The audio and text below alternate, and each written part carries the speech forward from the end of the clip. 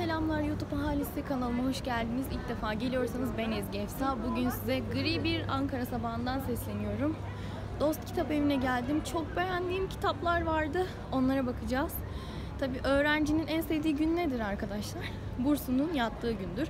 Benim de bursum yatalı iki gün oldu. Ama çok az bir kısmı kaldı diyebilirim. Çünkü e, kredi kartı borcum falan vardı. Onları ödedim. Neyse bu gibi sıkıcı ayrıntılara hiç e, değinmeden hemen Dost Kitap Evi'ne gidelim. Beğendiğim kitaplara bakalım. Selam bu Dayıcıoğlu. Yine çok satanlarda. Psikoloji dizilerinden sonra meşhur oldu kadın. Helal olsun. Ama benim beğendiğim şurada cep kitapları. Normal böyle kitabına cep kitabı var ya. Çok canım sıkılıyor bu duruma. Ama yapacak bir şey yok arkadaşlar. Türk Edebiyatı. Ya ben aslında bir kitap daha arıyorum. Ama o kitabı burada bulamadım. Nazan Arısoy'un e, kitapları var ya arkadaşlar.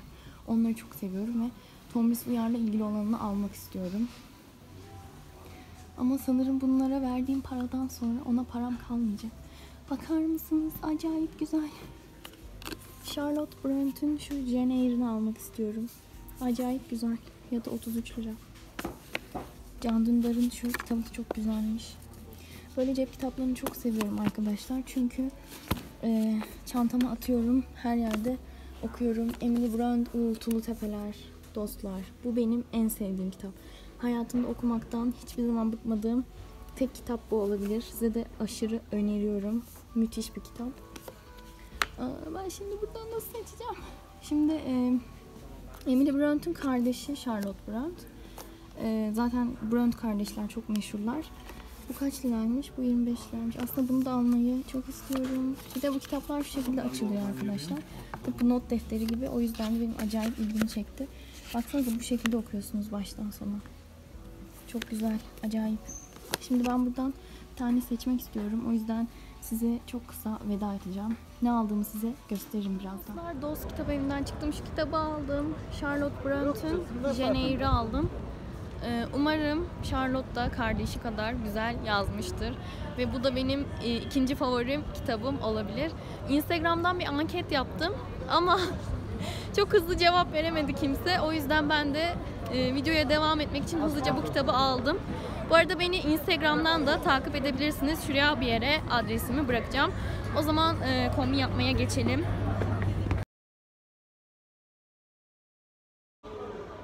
Selamlar. Ben bugün bir de gratis'e geldim. Dostlar çok güzel iki, bir tane küpe buldum. Hemen size göstereceğim. Bakar mısınız? Acayip güzel. Bu arada gratis'in e, takıları acayip güzel oluyor. O yüzden bakmanızı öneriyorum. Mesela bunun fiyatı 13.75. E, çoğu bijuteri markasından çok daha uygun fiyatları. O yüzden siz de bakabilirsiniz. Bu tatlış küpeler gibi e, çeşitli aksesuarlar bulabilirsiniz. Mesela şöyle göstereceğim kısaca. Gördüğünüz gibi bir sürü bijuteri ürünü var. Çok seviyorum. Ee, bir, bir gün de şunu almak istiyorum. Bugün param e, el vermediği için alamayacağım. bu arada şöyle bir şey, şöyle bir ayrıntı fark ettim. Bakın bu ikisi aynı küpe. Ama şunun üstteki pırlantaları küçük, bununki büyük. Neden acaba? Neden böyle bir şey oldu? Neyse ben büyük olan pırlantayı seçiyorum çünkü Türk olmak. Evet. Her şeyin gösterişlisini kim seçer? Türkler seçer. Neyse çok, çok boş yapıyorum. Bir an önce bu tatlış küpelerin fiyatını ödeyip Zara'ya geçmek istiyorum. Evet dostlar Zara'ya geldim. Şurada çok güzel limon rengi bir takım karşılıyor beni. Ve de çok güzel beyaz bir elbise karşılıyor. Bakar mısınız? Çok güzel bir beyaz elbise. Fisto detaylı. Ee, ve de yine şurada fisto detaylı bir takım var. Bu da çok güzel. Şöyle küçük bir mağaza turu yapalım. Ardından e, bir şeyler denemeye geçelim. Bu ikisini ben de alt alta kombinlemek istiyorum ama bilmiyorum yaratıcılık bakımından başka bir şeylerle de kombinleyebilirim. Şöyle bir bakmak istiyorum. Aslında burada biraz kışlık ürün mü kalmış? Bilmiyorum. Baharlık ürün çok yok gibi burada. Şu elbise çok hoşuma gitti. Bir şey söyleyeceğim. Şu yelek bana ne hatırlattı biliyor musunuz? Avrupa yakasında bir tane karakter vardı. Onu hatırlattı bana. Yanlara bir yere koyarım eğer karakteri bulabilirsem. Ee, bu tarafta ben maalesef çok soğuk renkler buldum. Bahar, daha çok bahar kombinleri yapmak istiyorum. O yüzden şuraya doğru ilerliyorum dostlar. İşte tişörtleri görmek istemiyorum artık. Ee, çok basic ve Zara'ya yakışmayan parçalar. Şuradan ilerliyorum. Bir şey söyleyeceğim. Şöyle Akdeniz gibi duran kıyafetler çok hoşuma gidiyor benim yazın. Akdeniz gibi nasıl bir terimse ama siz anladınız bence. Ee, şurada çok güzel bir ceket varmış ama artık mevsimi geçti bence. Aa şurada fistolu bir etek var bakın. Bunu da gayet güzel kombinleyebiliriz sanki. Ee, tam da üstündeki atletle kombinlemek geldi içimden. Şöyle geçelim. Bakar mısınız çok tarz bir gömlek var burada. Ee, şurasında şöyle bir detay var. Bence çok acayip tarz bir gömlekmiş. Buna bakabiliriz. Kelebekli bir kemer görüyorum burada. Bakar mısınız? Çok gösterişli. Çok güzelmiş. Ee, ilerleyelim bakalım şu tarafa doğru. Artık kaban, kürk benzeri şeyler görmek istemiyorum. Artık e, bahar gelsin istiyorum, yaz gelsin istiyorum. E, birazcık renkli köşelere bakmak istiyorum o yüzden mağazadaki. Şu şekilde etnik desenli ürünler vardı biliyorsunuz Zara'da. Hala var. Hala onlar gitmiş değil. Ay şu hırkaya bakın. Çok tatlı değil mi? İncecik. Ee, şöyle ilerliyorum. Aslında sizi mağazanın şu gösterisine götürmek istiyordum ben. Aa bir de bir şey söyleyeceğim. Şu şekilde bağlama detaylı atletler benim acayip hoşuma gidiyor. Belki siz de seviyorsunuzdur. Ee, şu elbiseyi size göstermeden duramayacağım. Bakar mısınız? Hayatımda gördüğüm en güzel elbiselerden bir tanesi. Şöyle bir askısından alayım. Şöyle bir göstereyim size. Bakar mısınız? Aşırı güzel değil mi? Çok güzel bir elbise. Bunu mutlaka giymeliyiz. Ee, onun dışında şu ipek gömleğe bayıldım. Çok güzel. Ee, bence bu kotla kombinlendiği zaman e, çok spor bir kıyafet olacaktır. Ee, şurada yine güzel parçalar var. Böyle rengarenk. Baharı getiren artık böyle e, pembeli, fuşyalı, turunculu kombinler var. Bunları da yapabiliriz. Özellikle mağazanın şu kısmı, şu kısmı e, daha böyle genç ve e, enerjik parçalardan oluşuyor. Şuna bakın.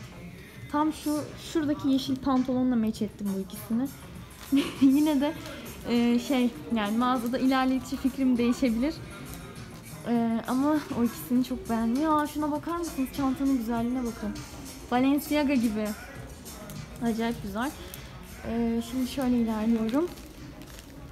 Şurada da çok güzel kombinler yapıyorlar. Ee, şurada yemyeşil parçalar var. Şu Zara'nın klasik büzgülü elbisesi her yerde görüyorsunuz. Şurada çok tatlı bir top var. Çok beğendim şunu. Ee, şöyle geçelim. Bilekliklere bakın. Çok güzel. Ee, şortlar falan gelmiş bu arada. Ee, yazın zaten başka bir şey giyilmiyor.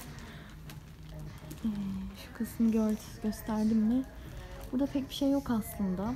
Çok basic parçalar var. O yüzden nereye gidelim biliyor musunuz?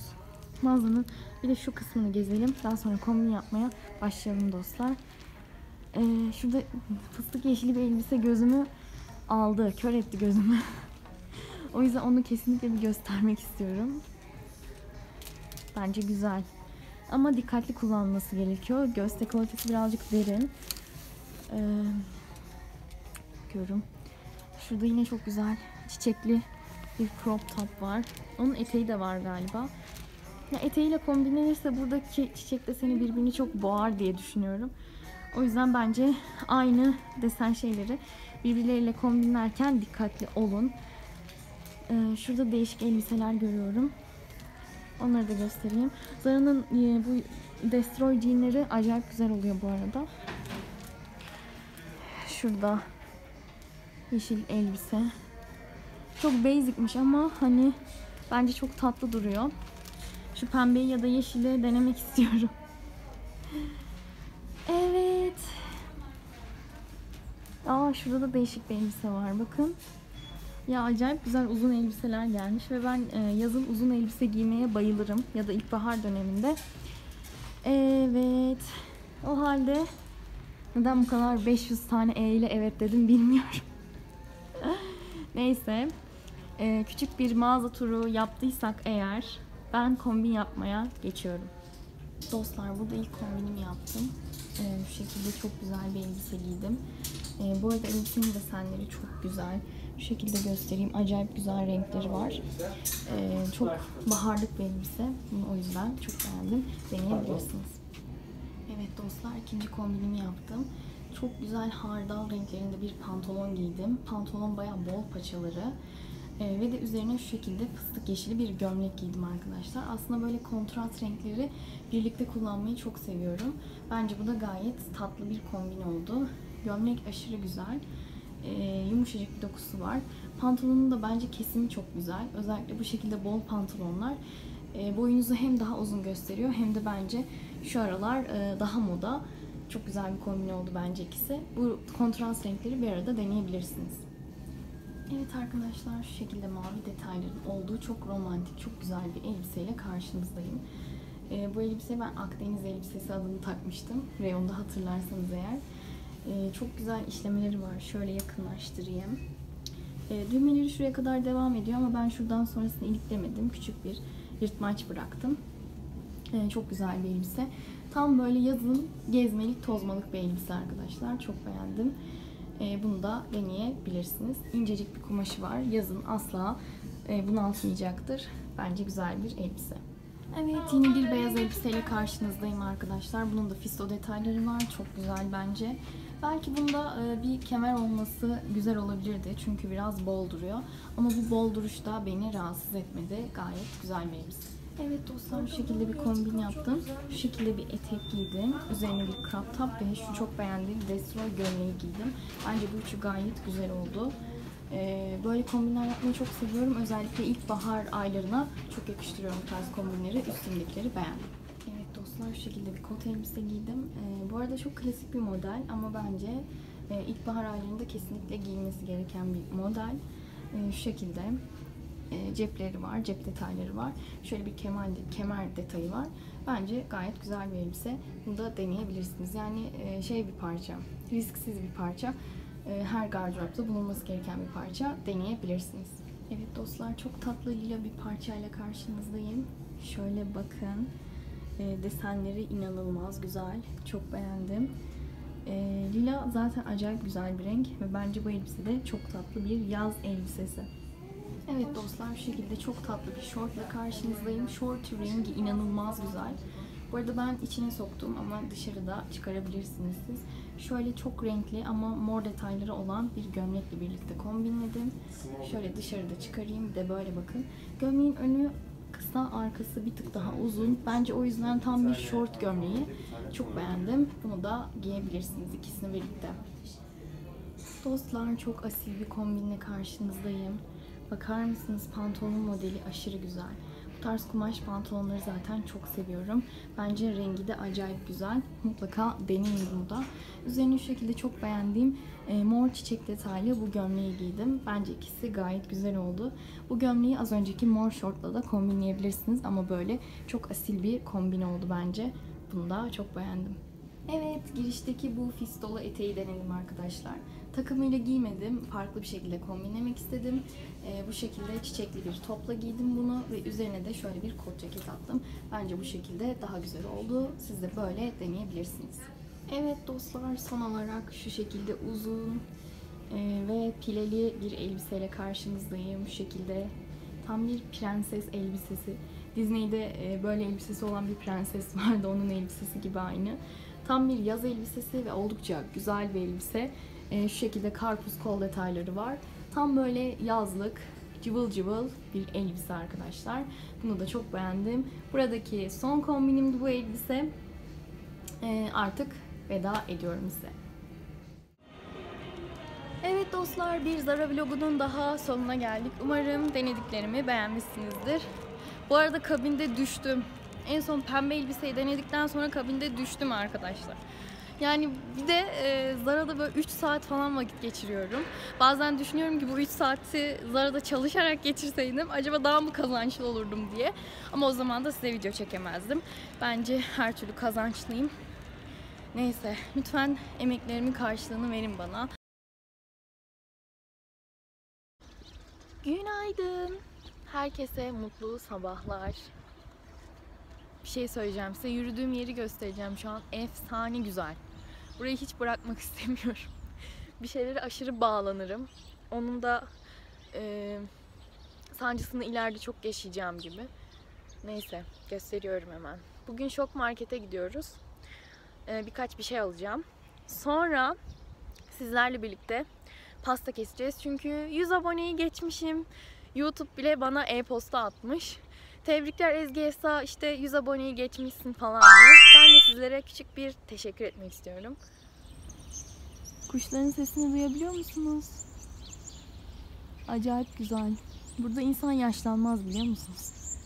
Doğayla iç içe olmayı çok seviyorum.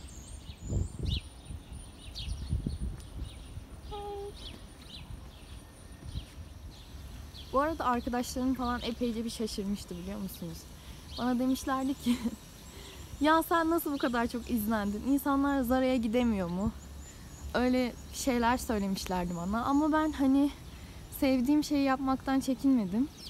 Çünkü kıyafetleri seviyorum, kombin yapmayı seviyorum ve bunu paylaşmak istiyorum. Bence bu güzel bir içerik. İlham veren kadınlar diye de bir içerik yapmıştım. Ee, o çok fazla izlenmedi. Ben, benim de e, profesyonelce çekim yapamadığım zamanlardı. Şu anda da çok profesyonel olduğumu iddia etmiyorum. Ama o zamanlar daha böyle bir acemiliğinde acemiliği bir dönemdi benim için. Şu anda kendimi daha iyi geliştirdiğimi düşünüyorum. Siz ne düşünüyorsunuz? Lütfen yorumlarda belirtin bunu bana. Bu arada şuradaki öğrenci evlerini ben hep şeye benzetiyorum. Amerika'da böyle müstakil evler var ya onlara benzetiyorum. Sizce de öyle değil mi? Ee, böyle bisikletli çocuklar, böyle köpek kulübeleri falan canlanıyor gözümde. Amerikan filmi gibi öğrenci yerleşkeleri yapmışlar. Oh! Hem konuşup hem video çekip hem yürüdüğüm için böyle nefes nefese kaldım. Ah ileride kalp ve damar hastalıkları olacağım kesin. Bu kadar kondisyonluk. Ne? Kondisyonsuzluk. Kondisyonsuzluk. Lafı fazla uzatmıyorum. Şoka gidelim. Burada yürürken bazen hüzünleniyorum. Neden biliyor musunuz? Çünkü bir yıl sonra mezun olacağım. Ee, ve hani okul hayatımın tamamı pandemiye gitti. Yani çok kayda değer bir şey yaşamadım. o yüzden hani e, böyle hayal etmemiştim üniversite hayatını. Öyle söyleyeyim size. Birazcık içim buruk o yüzden bir yıl sonra mezun olduğumda. E, ve de hani tekrar bir üniversiteye başlamak çok zorlu bir süreç. Yani bir kere daha oku falan filan diyor çevremdeki insanlar. Bir üniversiteye daha gir, sınava yeniden hazırlan falan filan diyor ama hani biliyorsunuz ki daha e, kolay değil yani. Üniversite sınavı, o tempo ve e, kazandığım okulunda iki yılının bu şekilde geçmesi beni inanılmaz üzüyor. Sanırım bu görüntüleri de kendime hatıra olsun diye çekiyorum şu an. Buraları unutma Zaman tüneli. Yani ne hissettiğimi anlıyorsunuzdur. Sizin de çünkü okulunuz hani pandemi döneminde e, kapandı. E, tüm kurumlar için geçerli bu arada. Yani sadece üniversite için söylemiyorum. Birçok şey kapandı ve hani ne hissettiğimi anlıyorsunuzdur. Ben şimdi şuradan birkaç ihtiyacımı alacağım. Sonra birlikte pasta yiyeceğiz. Bu tatsızlıkları kapatacağız. Bu arada şok açıldı mı acaba? Aa, açmışlar artık yapacak bir şey yok. Ben girdim. Bir şey söyleyeceğim. Şu kurabiye efsane güzel ama Fiyatı bu muydu yoksa daha mı ucuz mu? İnsanlar da böyle bir şey uyandı artık.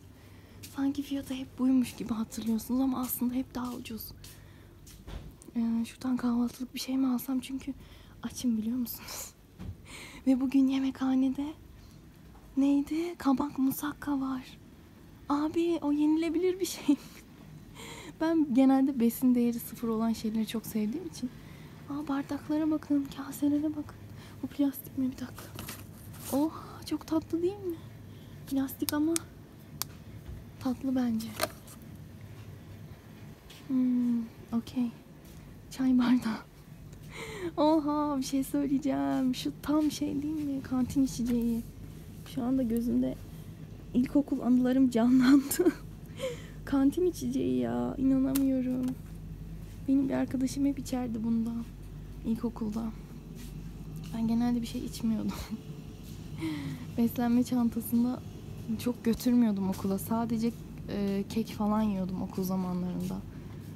O zamanlardan başlamışım sağlıksız beslenmeye. Ops bir şey çarptım. Bu arada şu çok güzel şunlar. Ama fiyatları 23 lira olmuş ya. Çok acayip pahalandı hepsi. Bir şeye gideceğim. Burada noodle'lar var. yani yanlarından geçerken bile çektiğim sıkıntılar geliyor aklıma.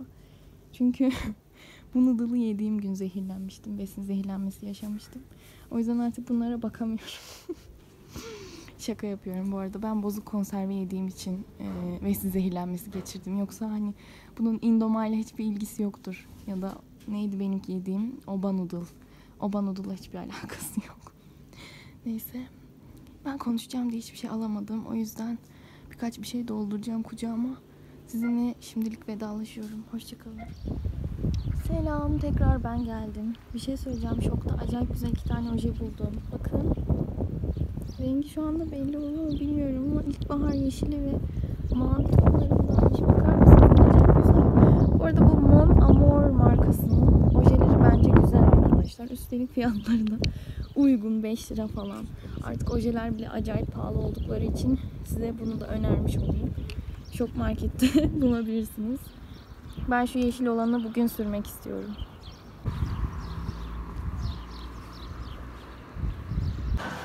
Burası yemekhanede yemek kötü olunca öğrencilerin tercih ettiği alternatif bir mekan.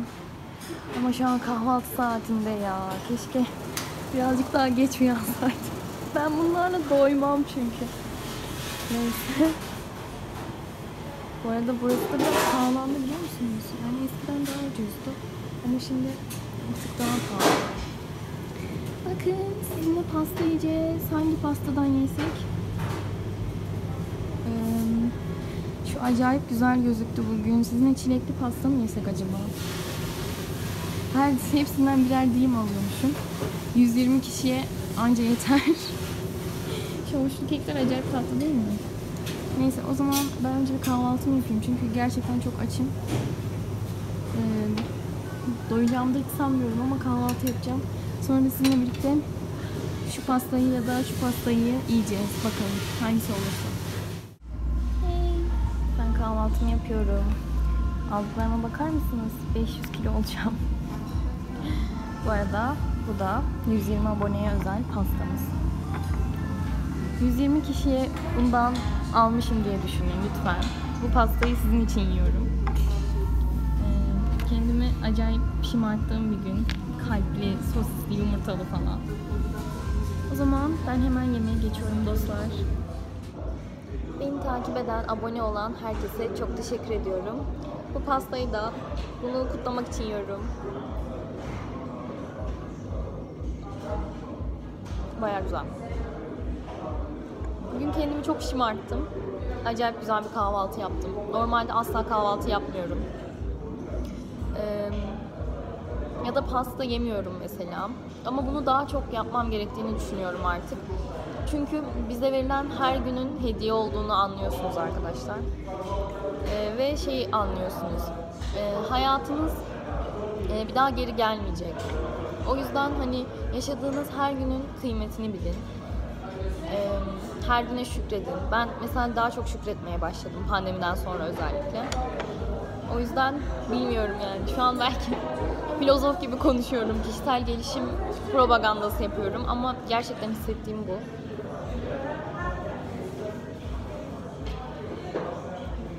Artık kendime daha iyi davranıyorum. Kendime böyle hani mesela en yakın arkadaşınıza nasıl şefkatle davranırsınız ya. Aslında kendinize de öyle davranmanız gerekiyor ve ben de artık öyle davranmaya başladım. E, çünkü her şey tükense bile, sıfıra inseniz bile yanınızdan ayrılmayacak tek kişi yine kendiniz oluyorsunuz. O yüzden e, kendinizi, kendinize olan sevginizi ve saygınızı hiçbir zaman kaybetmemenizi diliyorum. Kendim için de dilediğim şey bu. Evet, videonun sonuna geldik. Eğer videoyu beğendiyseniz beğenmeyi ve bana destek olmak için kanalıma abone olmayı lütfen unutmayın arkadaşlar. Bir sonraki vlogda görüşmek üzere, hoşçakalın.